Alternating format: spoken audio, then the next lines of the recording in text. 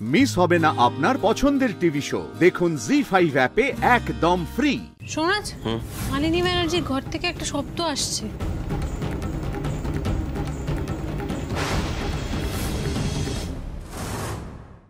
জি five download করুন আর সব episode দেখুন একদম ফ্রি